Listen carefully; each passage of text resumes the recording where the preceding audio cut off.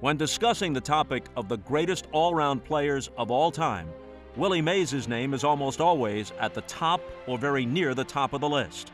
Throughout his 22 year Major League career, there seemed to be no shortage of ways in which the Say Hey Kid could take over a ball game.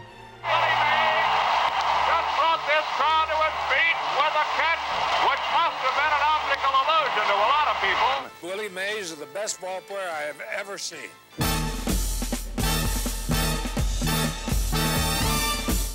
Do play ball. It's Mays hitting and Mays fielding, and Mays being the giant good luck charm.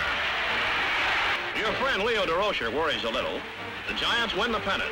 You beat Mel Ott's record for extra base hits. And on the last day of your first full season, you're the batting champ of the National League. This is the fame you like. Willie Mays, one of the Giants. The team of McGraw, Christy Mathewson, Bill Terry. A member of Leo's team, riding beside an old pro, Captain Al Dark. But the big one is still to come. The Giants versus the Cleveland Indians in the World Series. I never thought in my wildest dream that he would make that sort of play. Vic hit the ball, but it was high. And I knew right away I was going to catch the ball. Wertz pounds the next pitch over Willie Mays' head. It may not stay in the park, but if it comes down inside the field, he's and got he it. Makes catch as he stops a step short of the wall. Willie made a great catch. He turned around and made a great throw. His hat fell off. It was a great show. It did save several runs. It might have we might have won that ball game. I don't know. Because of the way that I caught the ball, the way I got rid of it, it was just a to me an incredible catch. Now, if you've got a trademark at the plate, it might be those big hands on the bat. More likely, it's two words, say hey, stamped in bruises on the pride of innumerable pitchers. Ask you how you do it, and you'll just growl.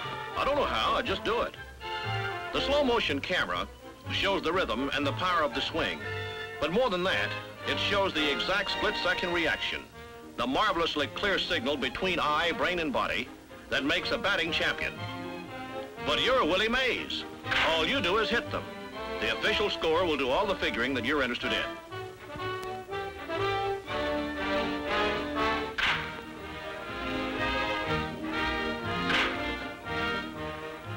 What you like is the social life of the ballpark, making the bat boy hop and shooting the breeze with Monte Irvin, the left fielder. Before or after a big league game, you sometimes go out on the street where the kids choose up for stickball, and you still get a kick out of being chosen. At times, with all the publicity that comes from this, you worry about what kind of big leaguer people might think you are, swatting a rubber ball with a broomstick, kidding with the crowd.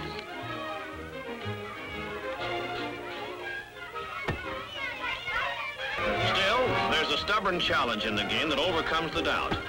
And you feel the thin stick sharpens up the batting eye. Besides, you know the time will come soon enough when you may not enjoy this so much. When your own growing personal life won't give you time to take an occasional drove of kids to the corner drugstore and stand on the corner after a game and tell them how it's done. Encourage them and be their friend. Young Willie Mays.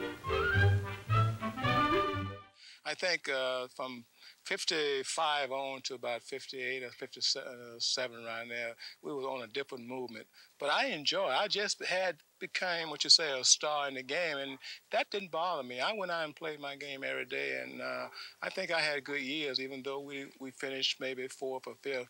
Uh, I enjoyed the game very much. By the time 1969 came to a close, there was no doubt that Willie Mays was one of the very best. Mays was probably the most spectacular player of his era. The one guy everybody agreed was uh, the first guy you would plunk down your money to go see play. I think when people pay their money to come to a ball game, you should try and put 110% into the game. And that's what I try to do every game. What he did in the 60s was become one of the game's most prolific power hitters. He went to the plate with an active swing. The Say Hey Kid led the league in home runs three times in the 60s and hit 52 of them the year he won his second MVP award in 65. Drive to deep left center field. This one's got a chance. It's gone. It's a home run. But for all his prowess at the plate, it was in the field where fans got to see the true acrobatic artistry of a man who won nine gold gloves in the decade. When the ball was hit out there, you didn't know he was going to catch, and the next thing you know, he's there. Willie Mays has the range on it, whacks him, it takes the ball. My father, he said, defense is the number one thing in baseball. So I said to myself, I would play defense better than I played offense. An all star every year in the 60s, Mays and Aaron are the only men to hit over 300 with more than 350 home runs and 1,000 RBIs in the decade. People talk about how great Willie Mays was, but when you're watching every day, he was amazing. Anytime Mays was on the baseball field, it seemed there was a chance that something special could happen. And on September 22, 1969, it did. As play began that day, Mays was sitting on 599 career home runs. And though he wasn't in the starting lineup for the Giants Padres game at Jack Murphy Stadium, in the seventh inning of a 2 2 contest, he pinch hit for George Foster. With a runner on and nobody out, Padre rookie Mike Corkins was on the mound when Mays made history. Way back, way back, till it goodbye, number 600 for Willie Mays, and the bye-bye Baby Bonanza. And the Giants come to home plate to greet him. Mays' milestone homer proved to be the game winner, and it put him alongside Babe Ruth as the only players at that time with 600 or more home runs. It would be Mays' final home run of that season. Ultimately, he'd retire at the end of the 1973 campaign with 660 career home runs. Although he was in the twilight of his career, Willie still showed signs of his marvelous past. But when he realized he was no longer better than everyone else, it was time for Say Hey to say so long. I hope that with my farewell tonight, you would understand what I'm going through right now. Something that I never felt that I would ever quit baseball. But as you know, it always come a time for someone to get out. And I look at the kids over here, the way they are playing, and the way they are fighting for themselves, tells me one thing.